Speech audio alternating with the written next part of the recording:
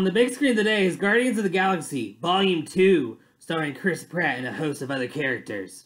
Now, these hosts of characters include people such as Zoe Saldana, Bradley Cooper, even though you don't really see him, he's one of the animals. Uh, Vin Diesel, uh, again, you know, he's one of the other creatures. And uh, Kurt Russell, who is not one of the other animals, but you'll find out later just who he really is. So, anyway, this movie does a pretty good job of uh, introducing you to itself, even if you haven't seen any other adventures that this ragtag group fought go into. And that was good for me because actually I haven't seen the first one of these, and I know what you're thinking. Uh, Chris, what the what the hell are you doing? Like, why would you not watch the first one? And I just haven't gotten around to it. I haven't gotten around to many movies. I haven't even seen the Avengers movies for that matter. But you know, I don't feel like it should be a prerequisite to go see this movie. And Thankfully, it was not a prerequisite, and neither was the second Avengers or any of the other Marvel movies for that matter. And I felt that this movie did a good job in being self contained. And that was a previous criticism I had of someone about this whole set of movies being made, kind of saying, well, is it going to be like homework? Just keeping track of who is who and what is what? Is it, is it going to be strenuous? I thought going to the movie should be a relaxing time, not a I don't know, quiz on Saturday. You know, why would I want to take a quiz on Saturday? I've already been schooled out. Anyway, in short, the movie is solid. Uh, you don't need to watch the first one to know what's going on. Though I will definitely say that I picked up on things that I know I would have had more context if I had seen the first Guardians of the Galaxy movie. Kind of these, I don't know about Easter eggs as much as continuations from the first one saying what would have happened after this. Like if you're watching the first one you're like, I wonder what happened to that guy, or huh, I wonder where they ended up, or are these two ever going to do anything? So I feel like that this movie did a good job at answering some questions for bigwig fans, and I won't attest to any of the comic book adaptation aspects, or you know, did they go to the source material correctly because I haven't read it and I don't know offhand. Um, I am interested in finding out though. Uh, this movie did at least get me curious. Well, what are the comics really like? What what do they have in store? how many adventures does this set of ragtag people come into? And I keep saying ragtag, but I don't really have a better way to describe it. I mean, you have this set of characters. Uh, you have a raccoon named Rocket, and that's where the Bradley Cooper comes in. You have this human, uh, played by Chris Pratt. He's kind of the center of the group, you could say. You have this uh, creature named Gamora. Uh, she's green uh, played by Zoe Saldana, and I kept thinking when they're saying her name, it was Gamora, like uh, Sodom and Gomorrah, like those cities in the Bible that were destroyed early on, like in Genesis or something. Uh, you know, don't quote me on that, but anyway, it was a pretty infamous city, and I was getting constantly thrown for a loop when they were saying her name was that. It's not spelled the same though. Uh, you have this. Well, they have baby Groot. I guess there's like a normal size Groot, He's like a tree. He keeps saying, I am Groot, which I guess he's the Chewbacca of this group in the sense that Chewbacca always roars and Harrison Ford would always answer him. Like, I know Chewie, uh, Groot is that character, except he's a baby in this movie. Uh, he's played by Vin Diesel. But you would have never known it was Vin Diesel except that they told you it was Vin Diesel, so it kind of gives you that clue in, I guess. But you know, I would have never known that otherwise. Uh, you have uh, Kurt Russell's in this. Um, I know he was, you know, a big time movie star, really before my time, but Um, he's kind of the, I guess, big name for older people to come in. I did recognize Stan Lee in his cameo, as he's always known to do in these Marvel movies. That was cool. Um, and this movie did have the classic sense of uh, extra scenes after the credits had started. There were like three of them. Uh, none of them really felt. Well, one of them felt like it was sequel bait. The second one was kind of iffy uh, with Sylvester Stallone. Uh, that was one of the characters I didn't really know who he was because I didn't watch the first one or haven't read any of the source material. Um, I'm sure he's going to have a more important role, and I'll probably watch the first one at some point soon so I have a better idea of who he is.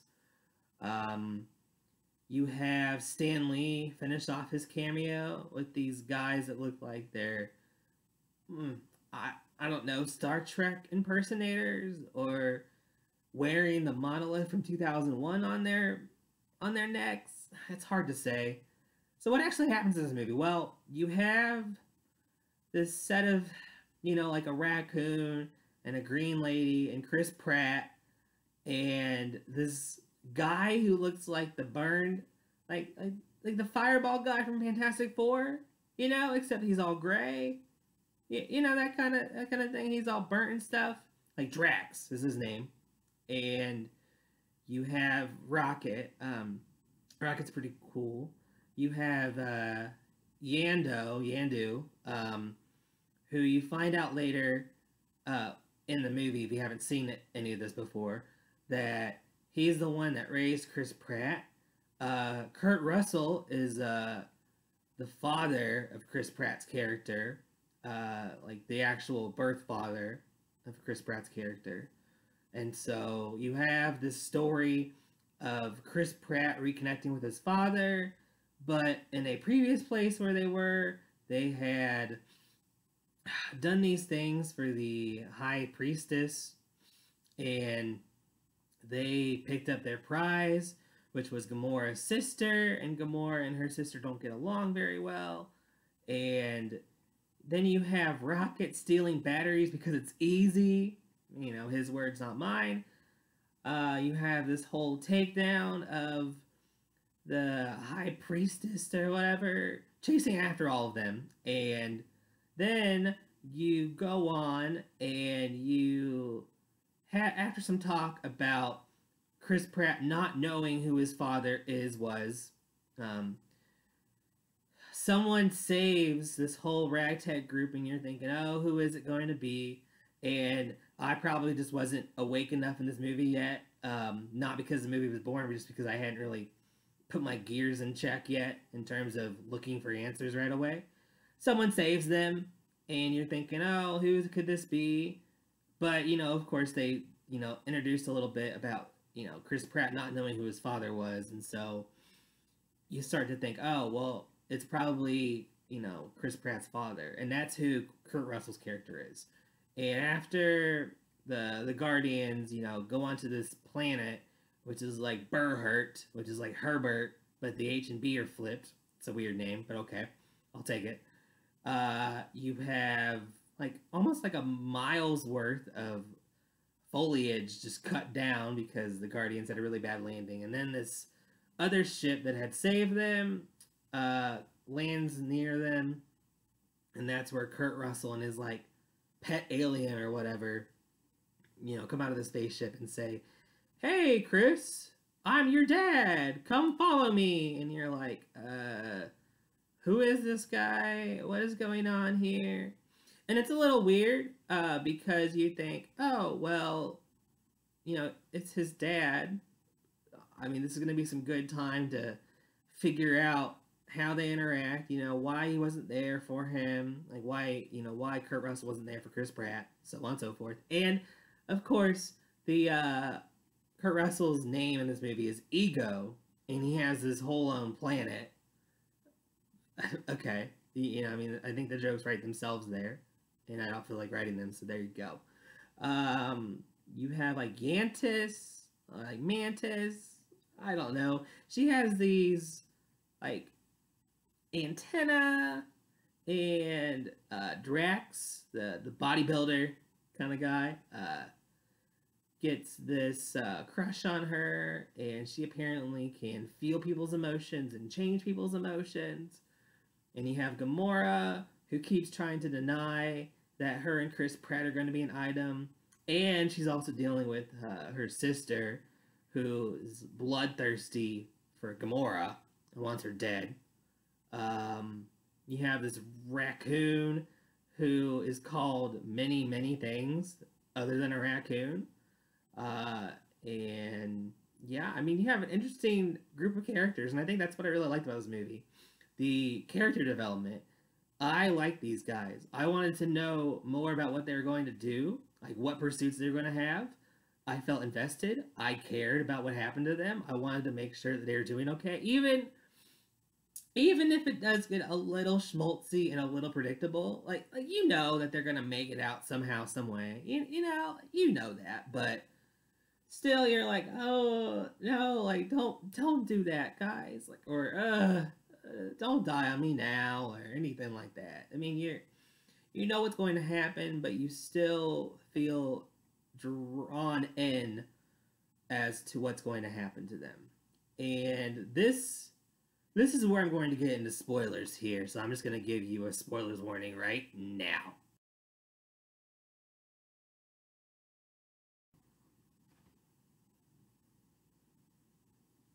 Alright, so spoiler talk. Well, here's the deal.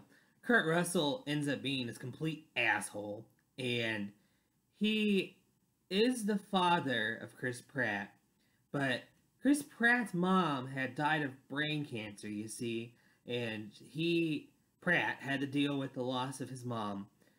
But what he finds out is that his dad, Kurt Russell, is the one that put the tumor in her brain that caused her to have cancer. He he killed he killed his mom. And on top of that, Kurt Russell's been like basically like getting it on with all kinds of species and banging them and having kids because he wants this big like celestial being to have control over everything in the universe and to have this light that just infects everything and overruns everything and has control over well guess what everything so I mean, that one threw me for a bit of a loop. I guess because the timing of it was sooner than I thought. You know, I kind of had a feeling that Kurt, Kurt Russell was up to something, but I didn't think it was going to happen that quick. I mean, it's not it's not the first 10 minutes or anything or even like the first 30, but it happens pretty soon within the movie in in relative terms, I guess you could say. I mean, it feels like more than half an hour after you know the spoiler of Kurt Russell's the most awful person ever, um, and really the big spoiler of that he killed he killed Chris Pratt's mom, and he has all this fine wine talk about how Brandy is a fine girl, and they keep playing that song, and he breaks Chris Pratt's Walkman that he always had, and he, you know, pisses off Pratt, and Pratt has part of this celestial being in him because, you know, his father is Kurt Russell and he has some of that power. And so I was kind of thinking that somehow if Kurt Russell had died, Chris Pratt would have died too. That's not really the case here. Uh, Chris Pratt does make it out in the end which is good. I mean, I'd be kind of bummed if he didn't make it out. I mean, who would they who would they replace him with? You know, what other human character would they put in? It wouldn't be the same. You have Nebula, who's Gamora's sister. She has an interesting struggle. She's a complete, complete bitch in the first half, but not necessarily softens up, but understands her needs and doesn't kill her sister like she was bent on doing in the first half. So that was a plus. And she experiences some character growth and she expresses her doubts and her frustrations with Gamora. And you see Gamora in a different light. Gamora is not all perfect. You know, she seemed kind of a little snotty in the first place, but then you realize, oh man, like Gamora, you know, had some dark stuff going on. But you realize both of them had their faults and both of them had their pluses. Neither one of them was necessarily better than the other one. I, I mean, of course, okay, you know, Nebula was cast in the more negative light, obviously, in this movie, but not so much for Gamora. But Gamora wasn't such an angel either. I liked uh, the raccoon. He was he was pretty funny. I think one of the big things about this movie is that it got super meta super quick. Even the opening credits were a bit meta because Groot was posing for them while they're having this big battle, and it kept me thinking, "Oh God, are they going to do this to the whole movie?" Like it was a little obnoxious when they first did it, and they were still meta through the entire movie, but it wasn't as obnoxious after the opening scene. The opening scene made me think, "Oh God, is this just going to be a total romp and a total parody of superhero movies? Is this going to have any semblance of the story?"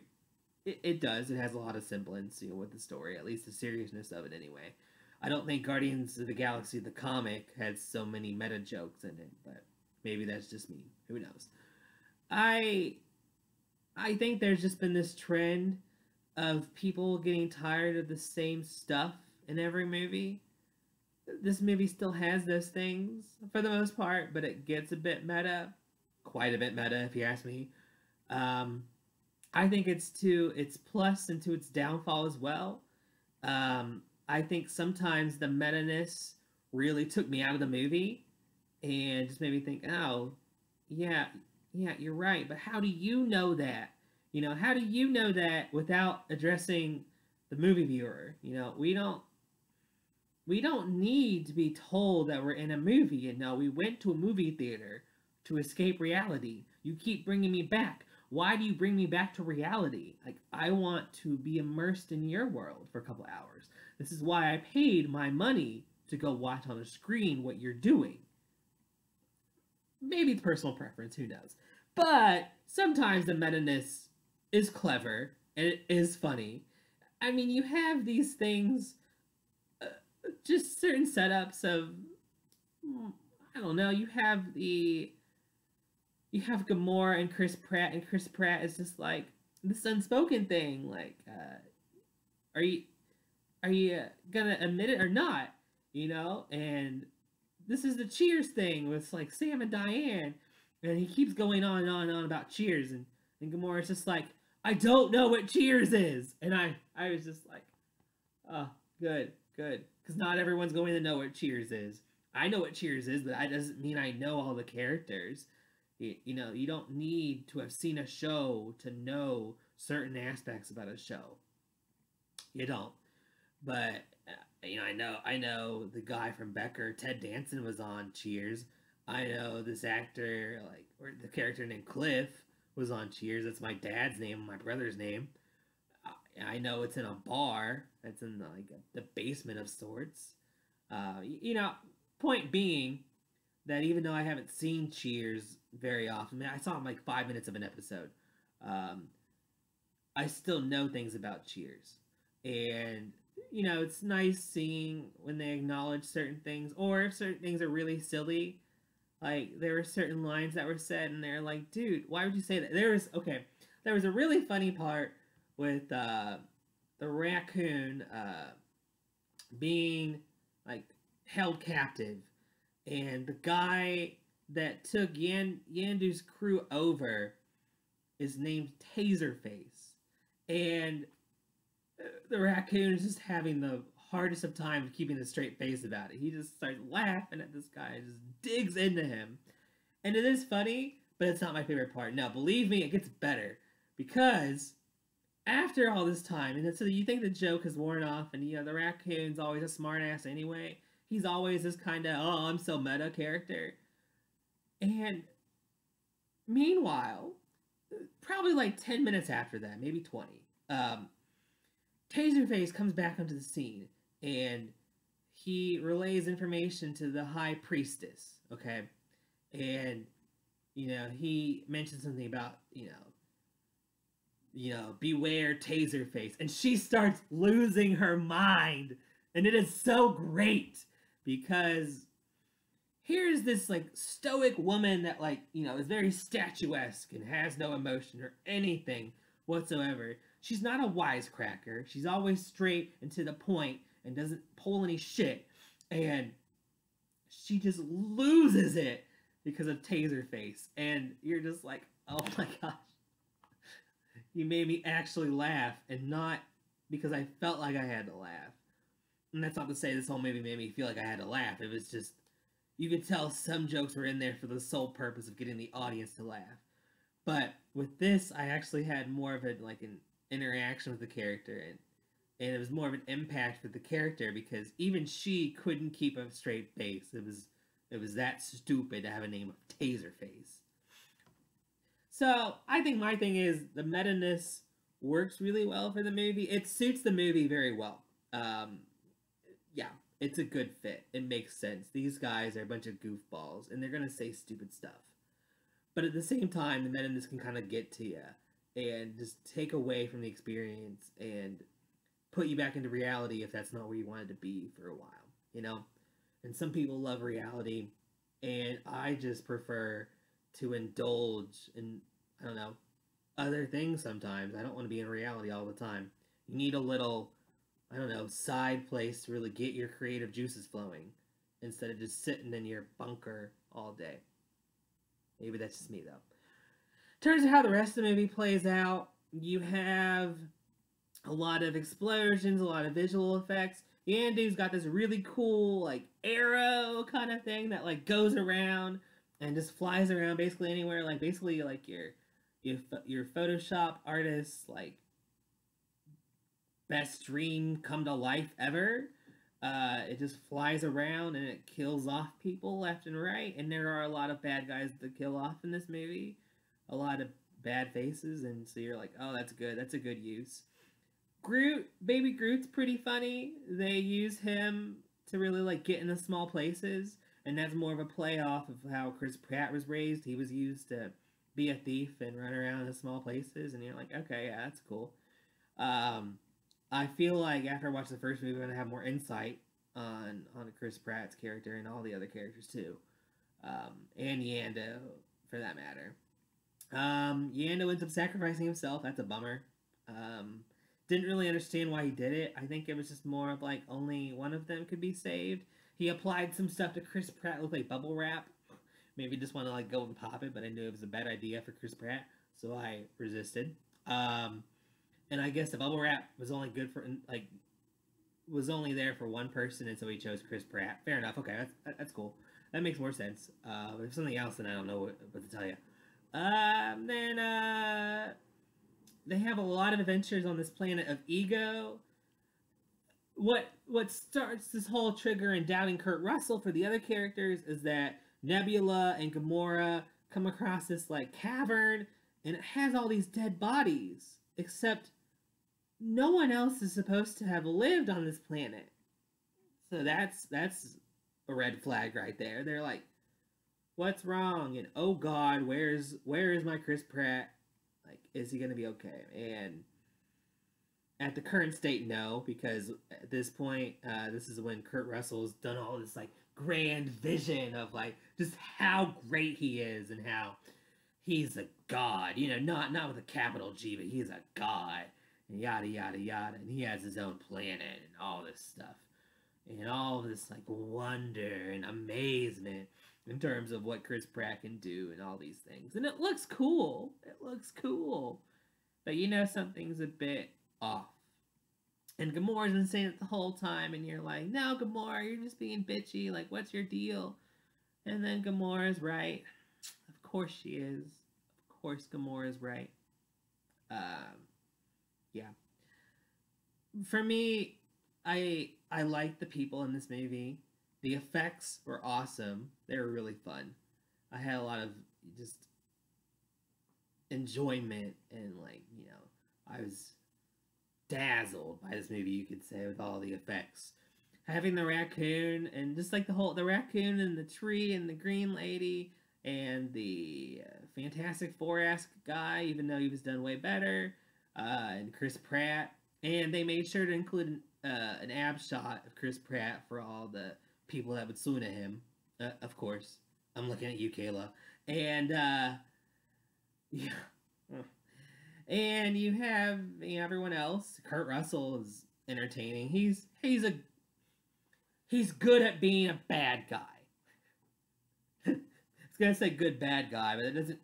You know that has some hypocrisy anyway. At least a touch of it. You know, like jumbo shrimp, or I guess an oxymoron is the better word for it. Um, yeah, in terms of like a grade, I'd probably say an A minus. Uh, honestly, I was thinking about an A, but it's just like, it's I don't know, it's it's a little too much of meta for me. I really like the movie overall, though. That's not a bad thing. I just have a personal preference of not being reminded that I'm watching a movie. You know, I, I think good jokes are needed, and they had a lot of good jokes. They had a lot. In fact, a lot of them are great jokes. But sometimes it just kind of took me out of that you know that world. And that's not what i was looking for. Uh, but that being said it's just like a really minor point you know? Movie making was great. The effects were fun. The writing was witty. Uh, the characters were enjoyable. Uh, the bad guys were a lot of fun um, all the conflict that came up all like the subplots worked in really well i didn't really feel like there was anything left hanging the dry, except for things that were always going to be set up in later movies. They had an awesome fireworks show at the end as a like Ravager's funeral, you could say. They had some cool planets going on that I didn't feel I had seen a million times. Um, yeah, it was just really cool and really fun, but maybe a touch meta. So I was thinking A minus, and yeah, between like uh, Get Out and Guardians of the Galaxy for the Straight Out of Popcorn series, I still like Get Out more. That's not to say Guardians of the Galaxy 2 was a bad movie. It was a great movie. Um, I think I just have this this appreciation for this, you know, first time filmmaker of Get Out. It did a really solid blend of of actual horror movie esque things, but putting a different, a little bit of a different spin on it, like a, you could say like a Guess Who's Coming to Dinner or Driving Miss Daisy combined with uh, I don't know, like your standard horror movie, but it was well written. Uh, and that's my big thing on these movies. You know, is it well written, and is it well acted, and is it memorable? Does it look nice? Um, you know those things. And so, really, this one's a hard thing. I think for me, though, these two movies, Get Out and Guardians of the Galaxy 2, were just like two different kinds of special nights, you know? There are some nights where I am in the mood uh, for, you know, one really kind of ritzy dinner. Like you could say like a filet mignon kind of night. And then there's other nights where I'm really in the mood for like a nice, you know, rack of ribs. You know, it's all like, you know, they're similar, but they are different.